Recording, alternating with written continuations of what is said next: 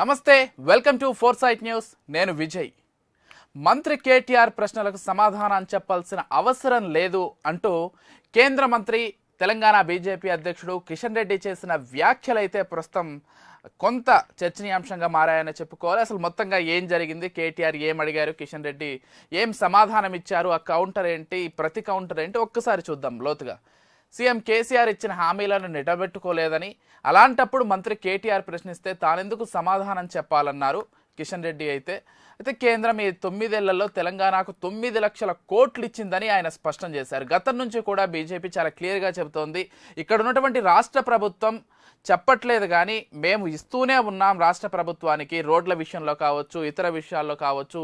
తెలంగాణ రాష్ట్రానికి ఎంతో చేస్తున్నాం కానీ బీఆర్ఎస్ అసలు ఏమీ చేయలేదన్న ఒక విషయాన్ని పోర్ట్రే చేస్తోంది ప్రజల్లో అంటూ కూడా బీజేపీ చెప్తోంది. సరే దానికి సంబంధించి ఇక్కడ ఉన్నటువంటి కేటీఆర్ కేసీఆర్ మొత్తం బీఆర్ఎస్ వర్గం కూడా కౌంటర్ ఇస్తూ కూడా వస్తోంది. అసలు మీరు తెలంగాణకు ప్రత్యేకంగా ఇచ్చిందంటూ ఏమీ లేదు. అన్ని రాష్ట్రాలకు ఇచ్చినట్లే ఏదో ఇస్తున్నారు. అది కూడా పూర్తిగా ఇవ్వట్లేదు. తెలంగాణ ఎన్నో అంశాలను కేంద్రం దృష్టికి తీసుకెళ్ళినప్పటికీ కూడా తెలంగాణకు ఏమీ ఇవ్వట్లేదనేది బీఆర్ఎస్ ప్రధానంగా చేస్తున్నటువంటి ఆరోపణ.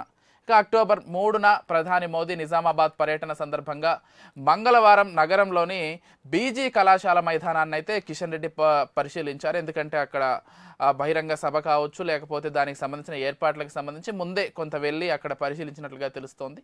ఆ నేపథ్యంలోనే కిషన్ రెడ్డి మాట్లాడడం జరిగింది. రాష్ట్రంలో పదిహేదు సార్లు టీ టీఎస్పిఎస్సి నోటిఫికేషన్లు ఇచ్చి ఉద్యోగాలు ఇవ్వకపోవడం సిగ్గుచేటన్నారు. అంటే ప్రతిసారి నోటిఫికేషన్లు ఇస్తున్నారు కానీ ఉద్యోగాలు మాత్రం ఇవ్వట్లేదు. కేవలం ప్రజలను మభ్యపెట్టడానికే మీరు టీఎస్పీఎస్సీ నోటిఫికేషన్స్ ఇస్తున్నారంటూ కూడా కిషన్ రెడ్డి ఫైర్ అవ్వడం జరిగింది.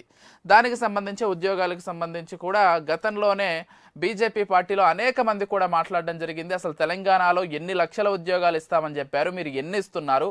ఉన్నటువంటి ఖాళీలు ఉన్నటువంటి ఉద్యోగాల్ని కూడా మీరు ఫిల్ చేయట్లేదు. అసలు ఏ విధంగా అర్థం చేసుకోవాలంటూ కూడా బీజేపీ వాళ్ళు గతంలో కూడా అడిగినటువంటి విషయాన్ని మనం ఈ సందర్భంగా గుర్తు చేసుకోవాలి. ఇదే నేపథ్యంలో మళ్ళీ పదిహేడు సార్లు టీఎస్పీఎస్సీ నోటిఫికేషన్ ఇచ్చి ఉద్యోగాలు ఇవ్వకపోవడాన్ని ఏ విధంగా అర్థం చేసుకోవాలి? సిగ్గు చేయటంటూ కూడా కిషన్ రెడ్డి వ్యాఖ్యానించడం జరిగింది. ఇక అక్టోబర్ ఒకటిన ప్రధాని మహబూబ్ నగర్లో మూడున నిజామాబాద్లో పర్యటిస్తారని ఇప్పటికే మనకు తెలిసినటువంటి విషయమే. ఎస్ మొత్తంగా ప్రధాని మోదీయే స్వయంగా తెలంగాణకు రానున్నారు. ఇటీవల కాలంలో అమిత్ షా పర్యటన నడ్డా పర్యటన ఇవన్నీ కూడా చూస్తూ వచ్చాం. ఇదే నేపథ్యంలో ప్రధాని మోదీ కూడా అంటే గతంలో కూడా ఒకసారి పర్యటించారు. ఇప్పుడు మళ్ళీ మహబూబ్ నగర్లో ఒకటో తారీఖున మూడవ తారీఖున నిజామాబాద్లో అయితే మోదీ పర్యటించనున్నారు. అంటే మోదీ పర్యటనతోటి ఒక్కసారిగా బీజేపీ సత్తా ఏంటో బీజేపీ అసలు ఏం చేయదలుచుకుందో తెలంగాణలో బీజేపీ ఉనికి ఏ విధంగా ఉందో నిరూపించుకోవాలనే ఒక దృఢ నిశ్చయంతో అయితే ఇప్పటికే కిషన్ రెడ్డి ముందుకు వెళ్తున్నారు. బాధ్యతలు స్వీకరించిన తర్వాత అదే నేపథ్యంలో ఈ సభలను అత్యంత ప్రతిష్టాత్మకంగా అత్యంత పర్సనల్గా కూడా తీసుకున్నారనే స్వయంగా దీనికి సంబంధించి జన సమీకరణ కావచ్చు. అసలు ఏ విధంగా చేయాలి ఎలా ఉండాలి అసలు ఏం చేయాలన్న పూర్తి ప్రణాళికలను కూడా ఇప్పటికే రచించుకుంటున్నారు. ఇక అభివృద్ధి పనులను శంకుస్థాపన చేస్తారని కూడా పేర్కొన్నారు. ఇక రామగుండం ఎన్టీపీసీలో నిర్మించినటువంటి ఆరు వందలు మెగావాట్ల విద్యుత్ కేంద్రాన్ని నిజామాబాద్ నుండే వర్చువల్గా ప్రారంభిస్తారని కూడా తెలుస్తోంది. అంటే ప్రధాని మోదీ పర్యటనలో భాగంగానే ఏదైతే రామగుండంలో ఎన్టీపీసీలో నిర్మించినటువంటి ఆరు వందల మెగావాట్ల విద్యుత్ కేంద్రాన్ని వర్చువల్గానే ప్రారంభిస్తారు. తెలంగాణలో లవ్ జిహాద్ ఘటనలు పెరుగుతున్నాయని కూడా ఆయన చెప్పారు. ఈ విషయాన్ని కూడా కొంత మనం హైలైట్ చేయాల్సినటువంటి అవసరం ఉంది. ఎందుకంటే ఈ విషయాలకు సంబంధించి బీజేపీ ప్రతిసారి ప్రతి రాష్ట్రంలో ప్రస్తావిస్తూనే ఉంటుంది. తెలంగాణకు విషయానికి సంబంధించి మాత్రం పెద్దగా ఈ విషయాలు ప్రస్తావనకు రాలేదు. ఇప్పుడిప్పుడే ఇటువంటి ఘటనలన్నీ కూడా బయట పెడుతున్నామంటూ బీజేపీ చెబుతోంది. అందులో భాగంగానే లవ్ జిహాద్ ఘటనలు ఎక్కువగా జరుగుతున్నాయి. అంటే మీకు తెలిసిందే కదా ఒక హిందూ అమ్మాయిని ఒక ఇస్లాం మతం పాటించేటువంటి అబ్బాయి అంటే అందరూ కాదు కేవలం కొంతమంది టార్గెటెడ్గా ఇక్కడ హిందూ అమ్మాయిలను చేసుకొని తద్వారా ఆ హిందూ అమ్మాయితోటి అసాంఘిక కార్యకలాపాలు కావచ్చు లేకపోతే హిందువులపైనే దాడి చేసే కార్యక్రమాలు చేయించడం కావచ్చు చేస్తుంటారు. దానికి సంబంధించి దానికి ఒక లవ్ జిహాద్ అని పేరు పెట్టి అలాంటివి దేశంలో ఎక్కువగా జరుగుతున్నాయని ఎక్కువగా కేరళలో ఈ విషయాలు మనం వింటూ ఉంటాం. ఇప్పుడు తెలంగాణలో కూడా అటువంటి విషయాలు పెరిగిపోయాయంటూ కిషన్ రెడ్డి పేర్కొనడం జరిగింది. ఇది కూడా కొంత సంచలనంగా మారిందనే చెప్పుకోవాలి. నిజామాబాద్ ఆసుపత్రిలో చికిత్స పొందుతున్న యువతి తేజశ్రీని మంగళవారం కిషన్ రెడ్డి అయితే పరామర్శించారు.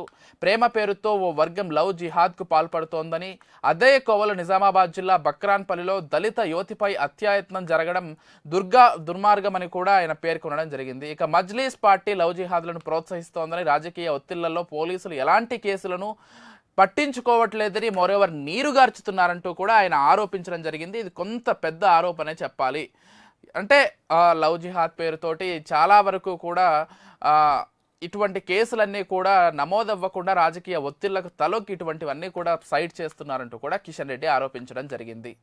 మొత్తంగా ఈ విధంగా ఈ వ్యవహారం ఉందని చెప్పుకోవచ్చు. అయితే కేటీఆర్ కిషన్ రెడ్డికి సంబంధించి అసలు కేంద్రం ఏమిస్తుందన్న దానికి సంబంధించి కిషన్ రెడ్డి అనేక సమాధానాలు ఇచ్చారు. అంతేకాదు అసలు కేంద్రం ఎంత ఇస్తున్నా కానీ ఆ విషయాన్ని ఇక్కడ ఏమాత్రం హైలైట్ చేయకుండా కేవలం మీ పార్టీ ఏదో చేసేస్తోందంటూ కూడా మీరు చెప్పుకుంటున్నారు. అసలు మోదీ ఇచ్చిన దానికి లేకపోతే బీజేపీ ఇస్తున్న దాన్ని మీరు ఎక్కడా కూడా చూపించట్లేదంటూ కూడా కిషన్ రెడ్డి ఫైర్ అయ్యారు. మొత్తంగా కేటీఆర్కి అయితే ఒక గట్టి కౌంటర్ ఇచ్చారని చెప్పుకోలేకపోతే లవ్ జిహాద్కి సంబంధించి మోదీ పర్యటనకు సంబంధించి కూడా కిషన్ రెడ్డి వ్యాఖ్యలు చేశారు. చూడాలి మరి ఈ వ్యాఖ్యలకు సంబంధించి రేపు మోదీ పర్యటన ఏ విధంగా ఉండబోతోంది. అంతేకాదు ఈ లవ్ జిహాద్కి సంబంధించి మరింత ముదురుతోందా వ్యవహారం అనేది కూడా వేచి చూడాల్సింది. Keep watching four sight news